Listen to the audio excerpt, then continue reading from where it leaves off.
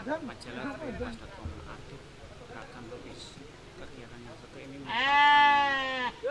kegiatan upacara dalam rangka memperingati hari Republik Indonesia ke 74 yang oleh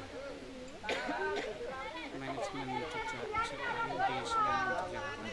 Nah, pemirsa majalah kompas.com yang cukup menarik dari peserta yang mengikuti kegiatan ini ada beberapa hewan salah satunya yang menarik adalah eh, kambing ataupun juga beberapa hewan yang besar seperti kuda juga reptil juga yang lainnya.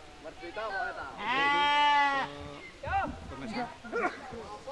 Upacara bendera memperingati hari ulang tahun kemerdekaan ke-74 Republik Indonesia tanggal 17 Agustus tahun 2009 segera dimulai.